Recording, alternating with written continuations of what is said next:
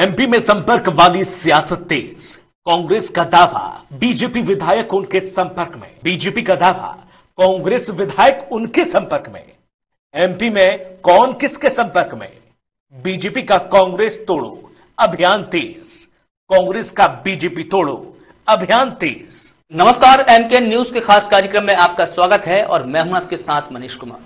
मध्य प्रदेश में मिशन 2023 से पहले एक बार फिर संपर्क वाली सियासत शुरू हो चुकी है। मध्य प्रदेश कांग्रेस अध्यक्ष कमलनाथ ने कहा कि बीजेपी के कुछ विधायक हमारे संपर्क में हैं, तो शिवराज सरकार के मंत्री भूपेंद्र सिंह ने भी दावा किया कि कांग्रेस के 12 से लेकर 15 विधायक बीजेपी के संपर्क में है। हाईकमान से हरी झंडी मिलते ही कांग्रेस तोड़ो अभियान को अमली जामा पहनाया जाएगा। लेकिन कौन किसके संपर्क में है ये देखना होगा। ये सारी तस्वीरें 2023 विधानसभा चुनाव से पहले साफ़ हो जाएँगी। एक तरफ़ बीजेपी सत्ता में वापसी के लिए आदिवासी कार्ड खेल रही है तो कांग्रेस भी बीजेपी को सत्ता से बेदखल करने के लिए भारत जोड़ो यात्रा पर आस लगाए बैठी है। अब देखना होगा कि संपर्क वाली सियासत का अंजाम क्या होता है। देखिए खास रिपोर्ट। कांग्रेस की भारत जोड़ो यात्रा महाराष्ट्र के बाद अब मध्य प्रदेश में प्रवेश करने जा रही है। मध्य प्रदेश में अगले साल विधानसभा का चुनाव होना है। ऐसे में कांग्रेस को उम्मीद है कि भारत जोड़ो यात्रा से माहौल उसके पक्ष में हो जाएगा। कांग्रेस भारत जोड़ो यात्रा के ज़रिए सियासी ज़मीन मज़बूत करने में जुटी है। तो बीजेपी कांग्रेस तोड़ो अभियान में लगी हुई है। दावा किया जा रहा है कि कांग्रेस की भारत जोड़ो यात्रा जहाँ जहाँ से गुजरेगी, वहाँ से कांग्रेस विधायक तोड़ने की योजना को अमली जामा पहनाया जा रहा है। बीजेपी की ये भरसक कोशिश है कि राहुल गांधी की भारत जोड़ो यात्रा कांग्रेस तोड़ो यात्रा बन जाए। बीजेपी नेताओं की माने तो कांग्रेस के बारे में से पंद्रह कांग्रेसी विधायक बीजेपी के संपर्क में हैं। हाईकमान की मंजूरी मिलते ही कांग्रेस तोड़ो योजना को अंजाम तक पहुँचा दिया जाएगा। दरअसल जो कांग्रेस विधायक बीजेपी के संपर्क में है, वे 2023 विधानसभा चुनाव में टिकट का पक्का आश्वासन मांग रही है।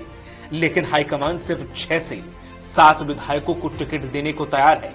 तो वहीं दूसरी तरफ़ छिंदवाड़ा प्रवास पर पहुँचे पूर्व मुख्यमंत्री कमलनाथ ने एक बार फिर से ये दावा किया है कि कुछ भाजपा विधायक उनके संपर्क में हैं। उन्होंने कहा कि भाजपा के बहुत सारे विधायक कांग्रेस के संपर्क में हैं, लेकिन हम अपने संगठन को ही प्राथमिकता देंगे। मध्य प्रदेश में राहुल गांधी की भारत जोड़ो यात्रा आने से पहले ही सियासत जोरों पर है।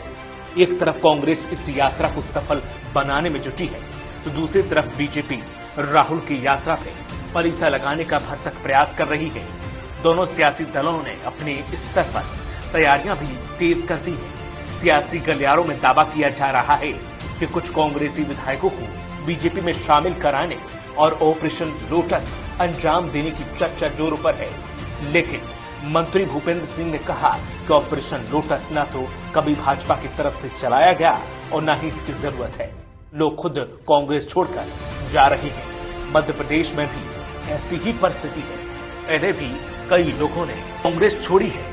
अभी भी लोग कांग्रेस छोड़ने के लिए हमसे संपर्क कर रही है। इसी वजह से कांग्रेस भयभीत है। यही कारण है कि कांग्रेस अपने विधायकों को बंधक बनाने की कोशिश कर रही है। भाजपा की तरफ़ से कभी ऐसा ऑपरेशन चलाया नहीं गया, और न ही भविष्य में चलाया जाएगा। ऐसे में मध्य प्रदेश कांग्रेस की चुनौतियाँ भी कम नहीं है। एक तरफ़ कांग्रेस को भारत जोड़ो यात्रा को सफल बनाना है, दूसरी ओर सूबे में अपनी सियासी ज़मीन भी मज़बूत करनी है। लेकिन पूर्व सीएम कमलनाथ का बयान, कांग्रेस में कितनी जान फूक पाएगा, ये देखना होगा। Bureau report M news